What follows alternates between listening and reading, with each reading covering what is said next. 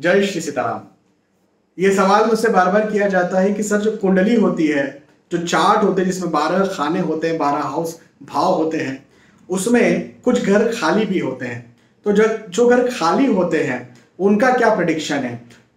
क्या वो घर खाली जैसे किसी के कुंडली में पंचम भाव खाली है? पांचवा भाव संतान का भाव होता है। तो खाली है तो क्या संतान नहीं होगी उसे?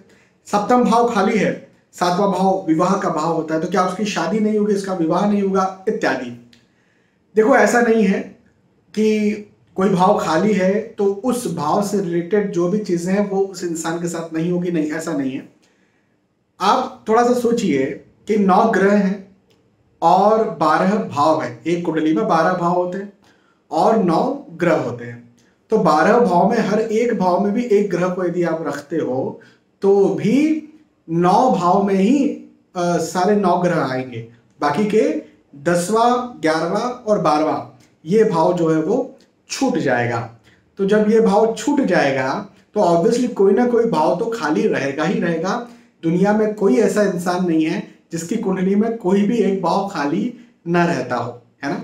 तो भाव मेरी कुंडली में आपकी कुंडली में सबकी कुंडली में भगवान ने भी इस धरती पर जन्म लिया था तो कुछ भाव उनकी भी कुंडली में खाली है, कुछ हाउसेस उनकी भी कुंडली में खाली है। तो सवाल ये आता है कि जो खाली हाउसेस हैं, उनका कैसे फल निकालते हैं? क्योंकि जैसे मान के चले कि पंचम स्थान पर शनि महाराज बैठे हुए हैं। अब पंचम स्थान संतान का स्थान है तो शनिदेव डिले करते हैं तो ऐसा बोल देते हैं कि भाई शनिदेव डिले करते हैं तो आपके पंचम स्थान पर संतान के स्थान पर शनि महाराज है तो आपकी संतान डिले होगी। तो ये चलो बोल दिया, क्योंकि शनि महाराज बैठे हुए थे। लेकिन अब पंचम स्थान पर कोई ग्रह नहीं है तो आप कैसे पता चलेगा कि डिले होगी, नहीं होगी, समय पर होगी? देखो, इसके लिए क्या होता है कि पंचम स्थान पर कोई ना कोई राशि ज़रूर होगी, कोई ना कोई नंबर ज़रूर लिखा होगा। अपनी कुंडली खोल करके अभी बैठिए आप।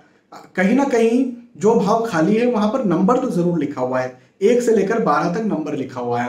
अब वो एक से लेकर बारह तक राशियाँ होती है है ना? पहली राशि मेष राशि, दूसरी राशि वृषभ राशि, मिथुन राशि, तीसरी राशि, चौथी राशि कर्क राशि, पांचवी सिंह राशि, छठी राशि कन्या राशि, सातवीं तुला राशि, आठवीं वृश्चिक राशि, नवी धनु राशि, दसवीं मकर राशि, ग्यारहवीं कुंभ राशि और बारहवीं मीन राशि होती है।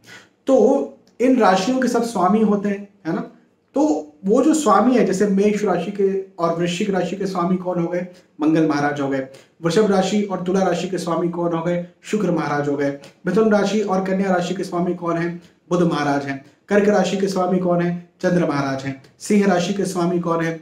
सूर्य महाराज हैं। धनु नौ नंबर या फिर बारह नंबर जिसको हम धनु राशि और मीन राशि कहते हैं, उसके स्वामी कौन है? गुरु महाराज है, बृहस्पति महाराज है। दस और ग्यारह नंबर यानी मकर और मीन मकर और कुंभ राशि के स्वामी कौन है? तो शनि महाराज हैं। तो ये जो राशियों के स्वामी होते हैं, इन राशियों के स्वामी को देखा जाता है कि वो कहाँ बैठे हैं। जैसे, एक एग्ज़ाम्पल के तौर पर। जैसे मैंने अभी संतान डीले का एग्ज़ाम्पल दिया कि भाई शनि महाराज पंचम स्थान पर बैठे तो कहीं ना कहीं संतान को डीले कर सकते हैं, ये आपने देख लिया। लेकिन उस भाव में कोई ग्रह नहीं बैठे हुए हैं तो फिर कैसे पता चलेगा कि संतान डीले होगी कि नहीं होगी?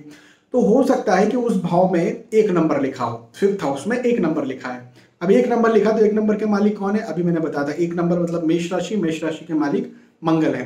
तो मंगल किसके साथ बैठे? तो हो सकता है मंगल शनि महाराज के साथ बैठे हो हो सकता है मंगल सूर्य महाराज के साथ में बैठे हो। तो मंगल यदि शनि महाराज के साथ में बैठे होंगे तो शनि का वैसे ही प्रभाव होगा जैसे वो पंचम स्थान पर बैठे हुए होते क्योंकि पंचम भाव के स्वामी के साथ शनि महाराज बैठ गए हैं। मंगल के साथ शनि महाराज बैठ गए हैं, है ना? तो वो संतान को डिले करेंगे, या फिर मंगल के साथ सूर्य बैठे, सूर्य जो होते हैं ना, वो रिश्तों को तोड़ने का काम करते तो संतान के पक्ष में बैठे तो संतान ना हो या अबॉर्शन हो, ऐसी स्थितियों को भी पैदा करते हैं और कई बार संतान से दूरी भी दे देते हैं। तो हो सकता है मैं भी कि पंचम भाव के स्वामी जैसे मंगल है तो मंगल के साथ सूर्य बैठ गए, कहीं पर भी, किसी भी भाव में जाके बैठ गए तो हो सकता है कि भाई मिसकैरेज या अबॉर्शन की स्थिति ज़्यादा बने या उसकी संतान से उसकी दूरी ज़्यादा बने। तो इस प्रकार से प्रडिक्शन दिए जाते हैं और भी बहुत सारे कॉम्बिनेशन हो सकते हैं, फिर उनके नक्षत्र को भी देखा जाता है। लेकिन मोटा मोटा ये मैंने आपको यहाँ पर समझाया किस प्रकार से देखने का एक तरीका होता है। हो सकता है मंगल महाराज पंचम भाव के स्वामी है लेकिन वो अकेले बैठे उनके साथ कोई ग्रह नहीं बैठा तो कोई ग्रह उनको देख रहा होगा है ना? तो ऐसे बहुत सारे कॉम्बिनेशन हो जाते हैं जिनसे ये देखा जाता है कि भाई वो आ, भाव जो है किस प्रकार से काम करने वाला है। आप खाली भाव को देख करके डरिए मत बहुत बहुत सारे लोग डर जाते हैं। मेरे पास मुख्य कंसल्टेशन एक आज ही की बात है सुबह की बात। देखो मैं जो टॉपिक निकालता हूँ ना वो बिल्कुल लाइव टॉपिक्स होते हैं कि आज मेरे साथ ये बात घटी या मुझसे किसी ने पूछा और मैं आपको बता देता हूँ।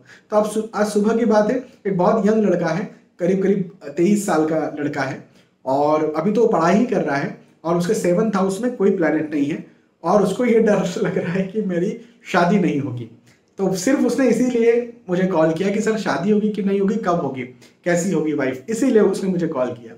खैर मैंने उसे समझाई ये सारी बातें तो मैंने सोचा एक बार वीडियो बना करके भी आपको बताना चाहिए। बहुत बहुत धन्यवाद। फिर मिलते आने वाले वीडियोज़ में। तब तक के लिए आज के स्टूडियो आपसे विदा चाहता हूँ। जय श्री सीताराम।